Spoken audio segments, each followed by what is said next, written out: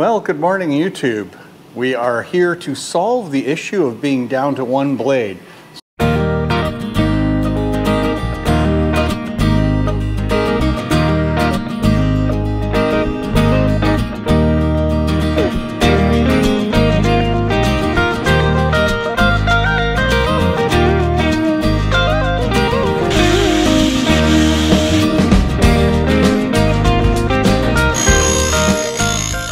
So I'm at Moira Precision, and we're here with Mark, uh, the owner of the business.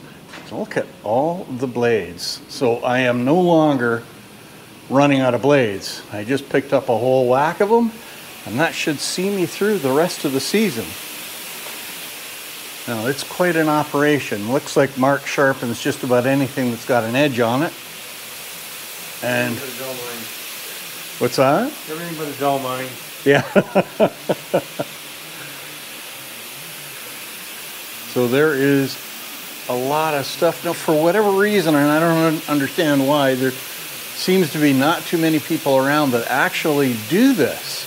So it was great to find Mark because I sure as heck don't want to spend the money on doing this myself. Because this equipment is bloody expensive. And as you can see, by these. That's some mean looking blades. Mark does a lot of stuff. That's a big ultrasonic vat. Those things are bloody expensive too. I was looking at, at a little one for myself, at, just for doing little carburetor parts and stuff on Amazon. They're over a hundred bucks for those things. Yeah, oh, that's like 20,000 US. Oh, So I made it myself. Oh, that's the way to do it. Yeah, well, you got the skills, why not? Yeah, really. So Mark's going to show us uh, how you weld these blades together. Yeah, it's a little bit to hang on to with uh, all that length, huh? Yeah. Yeah, it's not a lot of fun doing 30 foot blades. yeah, I'll bet. Here comes your spark show.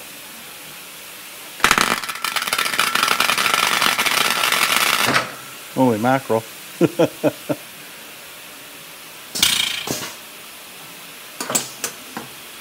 Now we anneal it. If the weld is hard, Oh, yeah, it would snap at the weld otherwise, huh? Because of the carbon steel.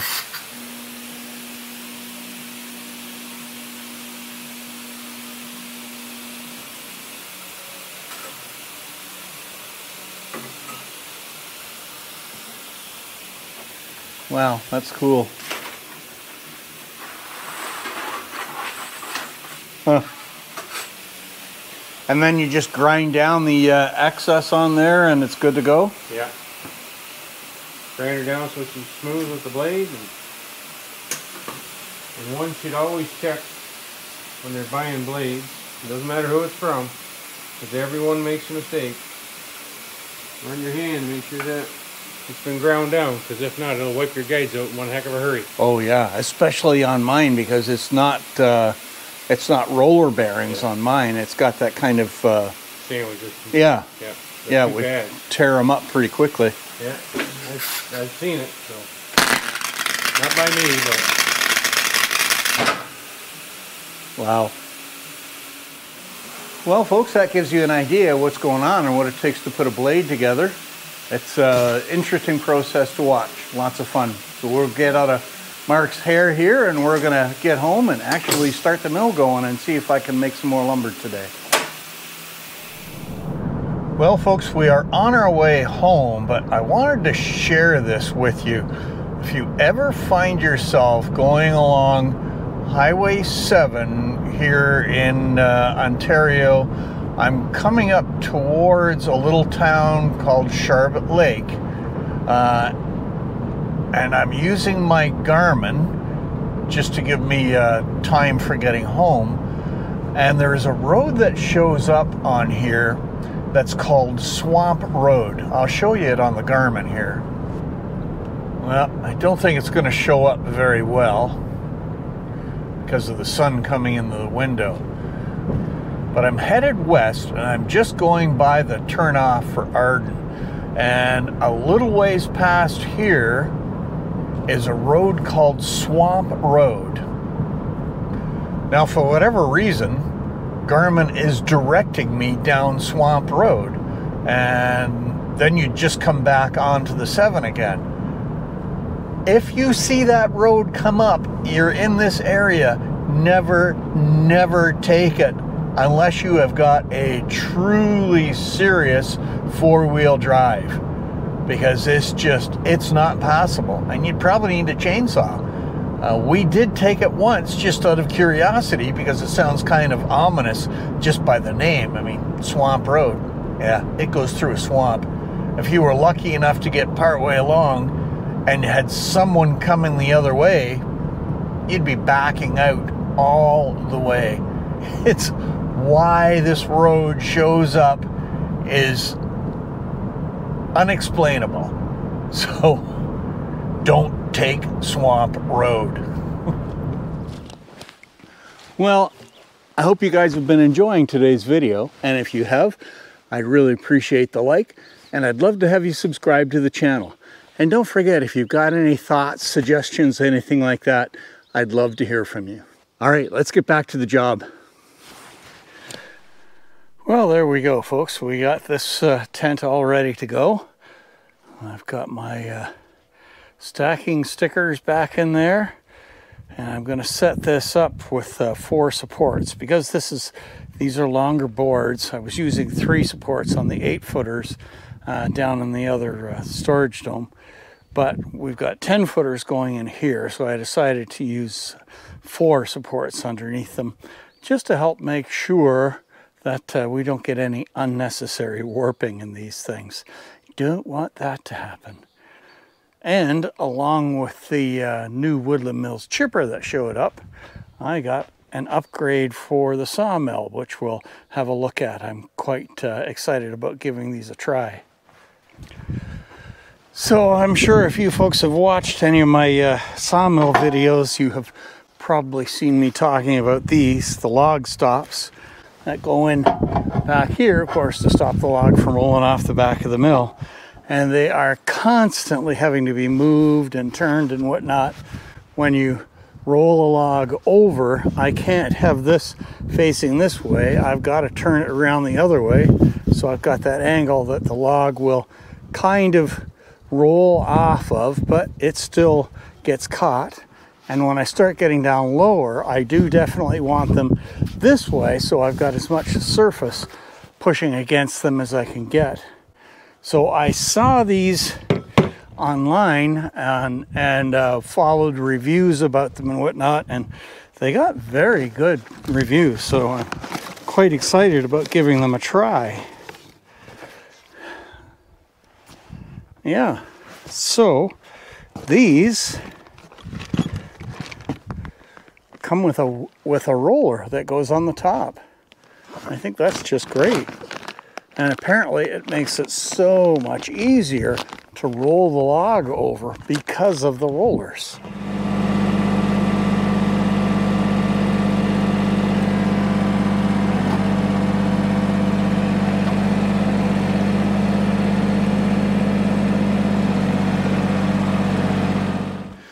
Well, one thing I see right away is I'm going to have to be really careful of this piece sticking out here.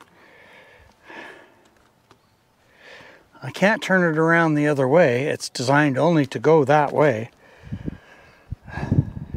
But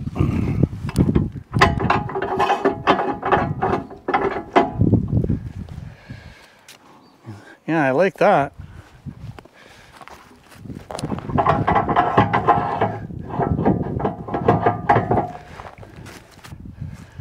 So this is that really ugly log I was talking about. I don't know what I'm going to do with it. If I'm really lucky, I can get a 6x6 out of it. Now, 6x6s, I want this to be able to be used in your uh, standard uh, mount and that type of thing for a 6x6. So that means I'm actually cutting it to 5 and 5 eighths square. Because the numbers that they tell you in the lumber store don't mean as much as they used to. All right.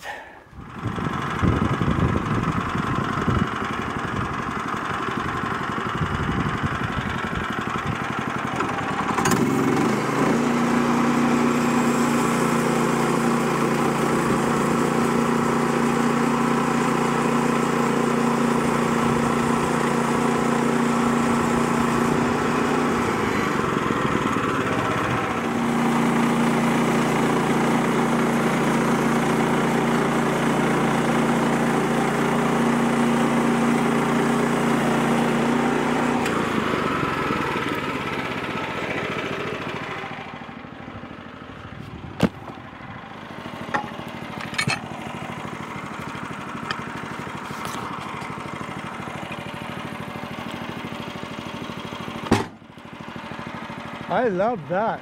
Holy mackerel, does that ever work easier? That's terrific.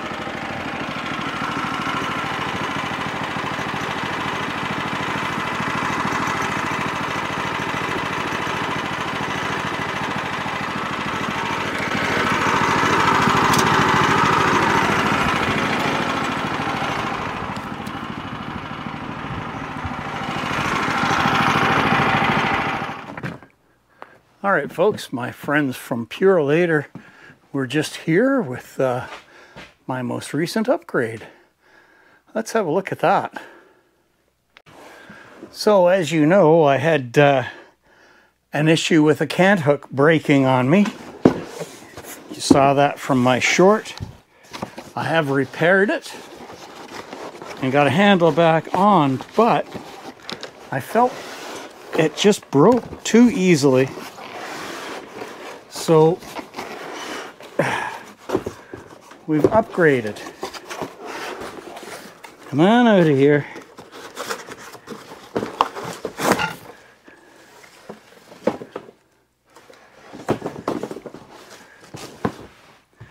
So this is by Wood-Mizer.